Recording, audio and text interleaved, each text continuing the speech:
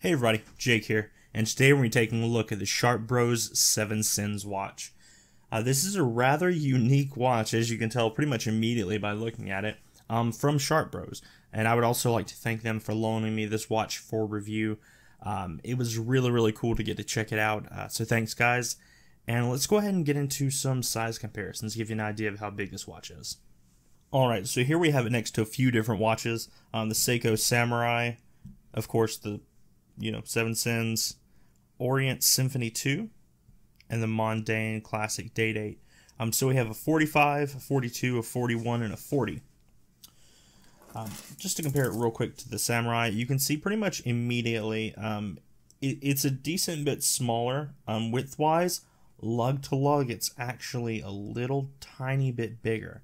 Um, so if you ever tried a Samurai, the length uh, across your wrist width-wise is going to be a little bit larger on this, but it's, it's by no means unmanageable.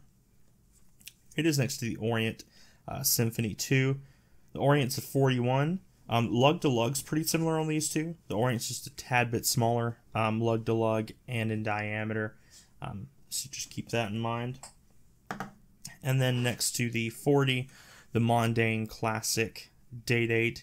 Um, again, this watch is a little bit bigger than it is. So this watch overall is pretty sizable. Um, it's not going to be as big as uh, some of your large, you know, 44 millimeter bronze dive watches or anything like that, but it's a pretty decent sized watch. All right, on to what I like about it. So, uh, first thing up is going to be just how unique this watch is, and that really starts with the hands, in my opinion. Um, this is by far the most appealing part of the watch to me. Um, are these kind of switchblade esque, um, you know, knife hands on this watch. Um, if you watch my channel at all, you know that I do like knives a lot. um, and this kind of brings both of these worlds together uh, to a degree.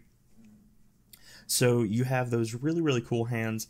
Again, I can't, I can't state enough how how awesome these are in person. And they're completely loomed too. I'll show you that in a bit. Um, you also have the kind of dagger, short sword shaped indice at the 12. Um, you do have applied indices for each of the hour markers, um, and they're polished on the side with loom um, on the front of them. You have a kind of weird shaped seconds hand.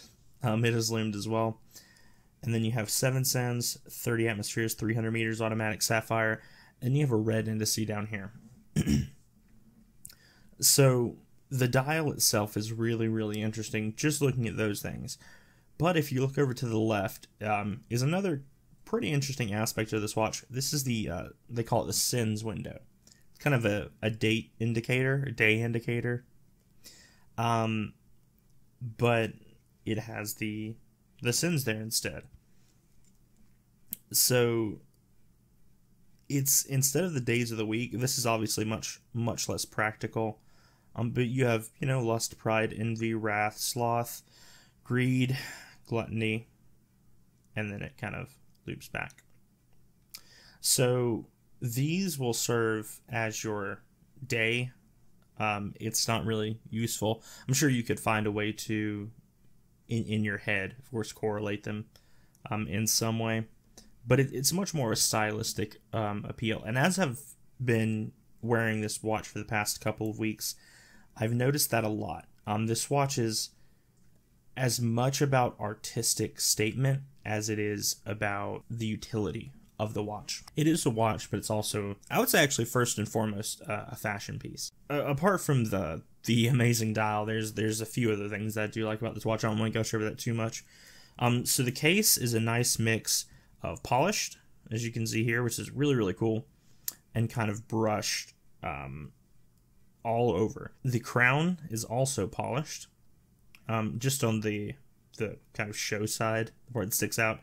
Um, it does have knurling, so you can get a grip on it. It's actually very very easy to use. I like the crown a lot, but the mixture of finishing really sets this off. Um, the brushing on the top kind of complements the matte dial, and then the polishing on the side kind of gives it a little bit of pop, especially in the in the light. It also comes with a, uh, a travel case and a flask, which you can see in the unboxing video. Those are just nice little touches that are thrown in. And it also includes a NATO strap. um, which I will go ahead and pop on and show you that because I actually prefer that one. All right, there we go. So, um, in my opinion, this is the much better of the two straps um, in terms of comfort and kind of appearance. It gives the watch a more sporty look for sure, but I don't think this watch is suited to classier environments. I would say the bracelet's more um, subtle, if that's what you're going for. But really, I, I think it, it's best suited with this NATO strap. This thing is super, super comfortable, I've got to say, and it looks amazing on this watch. It really, really pops. Uh, they, they do include this with the watch, so you get both of them, which is super, super generous. But, um, yeah, this one's, it's more comfortable, it's more aesthetically appealing to me, and it's the one that I wore most of the time. I did wear the bracelet for uh, probably four or five days. Most of the time, that was spent on this. Um, it's just I kept coming back to it. It's just a better option in my opinion, uh, and it fits this watch a little bit better. All right, let's go ahead and go on to the neutral. So first thing up is going to be the movement. Um, so this is using a Seiko NH35, which is a wonderful, wonderful movement. I have it in several of my watches. It's one of my favorite movements actually. Uh, but this one is running less accurately than any Seiko NH35 that I've tried before. It's not horrible, um, but if this were my watch, I would be getting it serviced for sure. Um, it runs about 20 seconds a day fast from what I've measured. Um, and that's come down a little bit since I first got it, probably averaging close to 17 or 18 seconds a day fast now. Um, but you can, of course, go get this serviced for a pretty minimal charge. But I figured I'd go ahead and include it out of the box. This is not the most accurate watch that I've tried.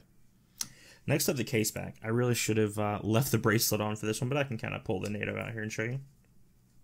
So the case back is fine. It's it's that's why it's in the neutral section. It's it's fine, but there's nothing really exciting about it. Um, so all you really have there is the specifications. You know, sapphire crystal, all stainless steel, water resistant, 300 meters, and then you have the Sharp Bros uh, logo and the little dagger slash short sword thing there.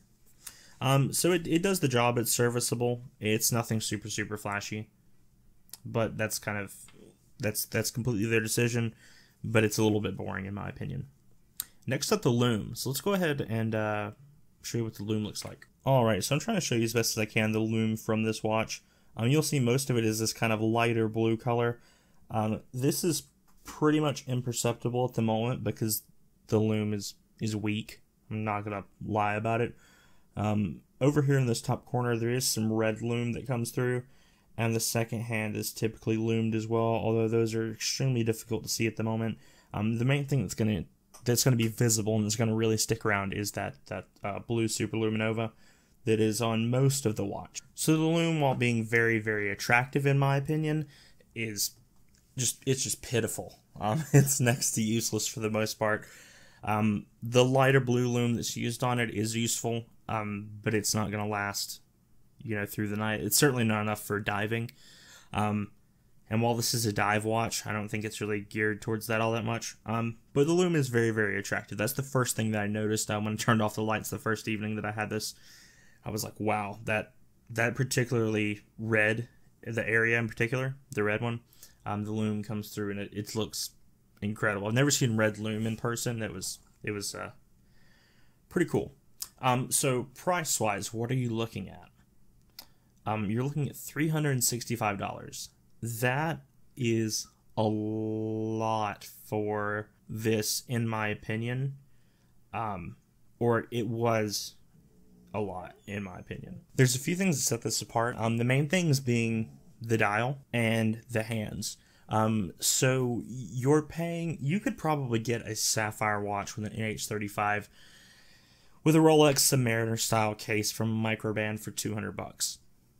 But it's going to be a full, you know, Rolex Submariner homage. At least they tried with this one.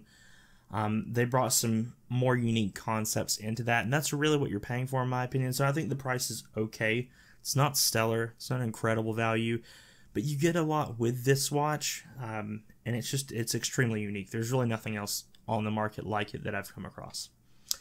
All right, let's go ahead and go on to the dislike. All right, so first up is actually the bracelet. um, so this is probably the worst bracelet that I've ever tried on a watch, um, and there's a couple reasons for this. Um, the first one is this clasp. It is incredibly stiff. Um, it's just not pleasant at all to use. Um, there's no quick release or anything like that, so it's just it's just not great. Um, it is a press clasp. I really don't care too much about that, um, but it's just not not incredible. The next thing that bothers me is this. Um, you can kind of see there, and it's prominent on most of these lengths.